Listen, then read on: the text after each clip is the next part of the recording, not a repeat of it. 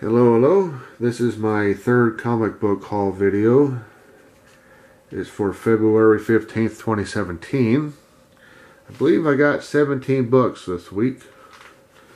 And to start off is U.S. Avengers number 3. Now it's on to DC with Batman number 17. I believe that's the B cover with artwork by Tim Sale. I've always been a fan of his.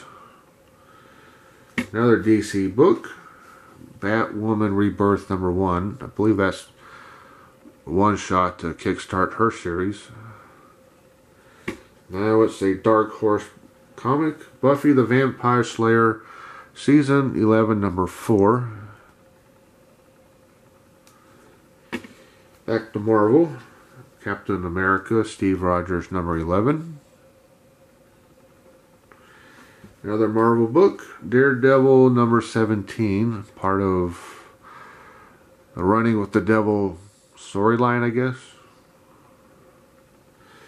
Now it's back to Dark Horse Comics with Dead Inside number 3.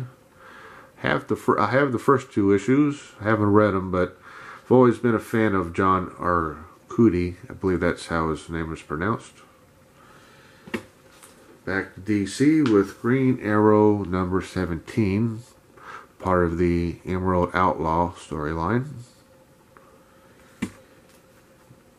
Now it's back to Marvel with Invincible Iron Man number 4. After that, it's a book from Dynamite Comics, James Bond 007 Hammerhead number 5. Back to DC with Justice League number 15. I believe that's the B, B cover. Marvel back again with The Punisher number 9. DC with Superman number 17, part of the Dark Harvest storyline. Now it's The Mighty Thor, number 16.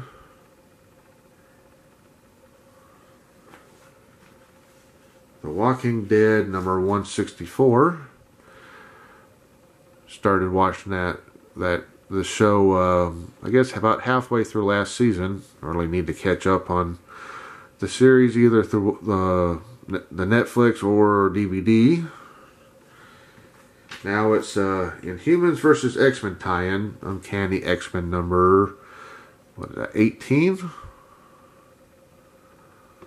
And last but most most definitely not least, Zombie Tramp number 32. Only the second one of these that I've bought. Uh, hopefully I'll be able to keep finding them. And that's it for this week. Thank you. Bye bye.